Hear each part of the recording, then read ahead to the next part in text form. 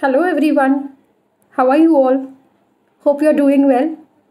Be safe. Eat lots of fruits. Drink milk. And don't forget to wash your hands. We at Kidzee really miss you. Today I am here for a rhyme session. Rhymes develop listening, skills, and confidence in children. Do you know my name? Do you know my name? My name is Shweta. My name is Shweta. Can you tell me your name?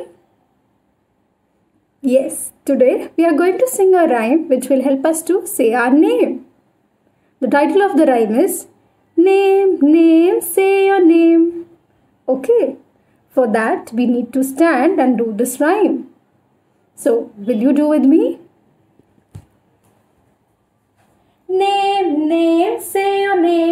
Clap your hands and play this game.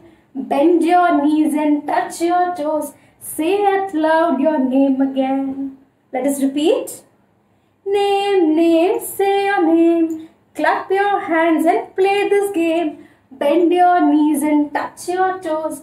Say out loud your name again. Very nice, children.